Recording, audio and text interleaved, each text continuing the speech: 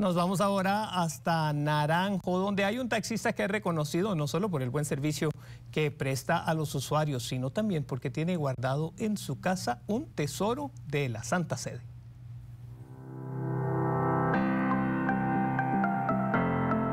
En Naranjo todos lo conocen. Él es el taxista más amable del cantón alajuelense. Se trata de don Gerardo Sánchez. En su espacio libre, la cabaña del abuelo. Este es su espacio, la cabaña del abuelo. Aquí el tiempo tal parece se detuvo. Entre sus colecciones se encuentra de todo, desde imágenes religiosas hasta elementos de esos que usaron nuestros abuelos. Lo que hoy sirve como mesa en medio de su cabaña. Ayer fue una cocina de leña. Este lavatorio perteneció al Hospital San Juan de Dios. Tiene más de 100 años. Este negrito no podía faltar y más hoy que es su día. Sí, día de San Martín de Porres. Hace un tiempo, hace algunos años para acá, eh, a mí siempre me ha gustado coleccionar antigüedades o curiosidades, pero más que todo imágenes religiosas.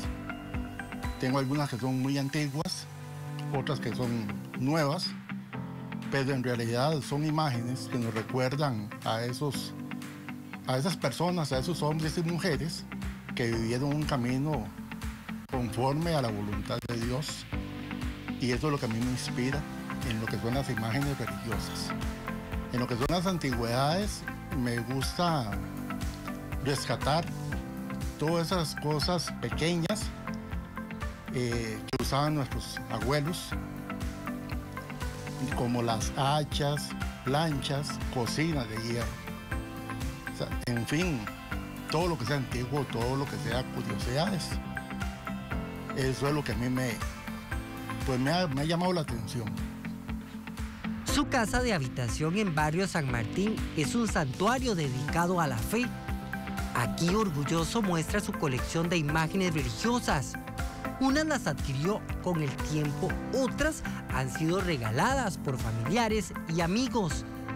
Y en medio de ellas tiene un tesoro con certificación de la Santa Sede y una historia de esas que solo le contamos aquí en Canal 8.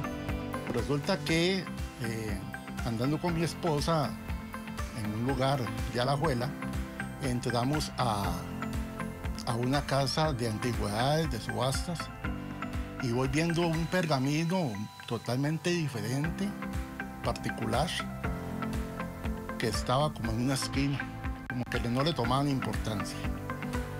Resulta que le pregunté al muchacho, le digo, ¿y ese pergamino cuánto vale? Me dice, ah, ahí me dijo un precio.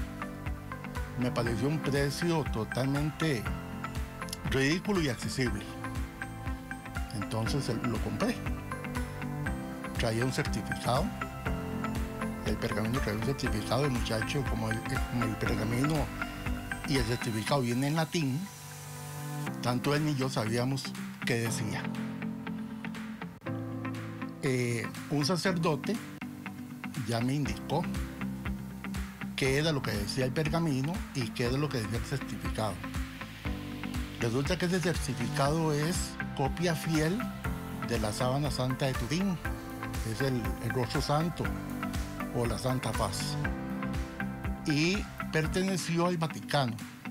En el pergamino consta que perteneció al Vaticano, propiamente al Papa Pío X. Ese es del año 1904. Pues a razón de todo esto, ya es un, tesoro tener algo que, que estuvo en el Vaticano y en manos de un, de un papa.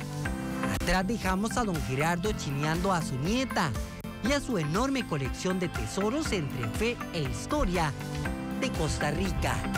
Alex Jiménez, mi casa, es su casa.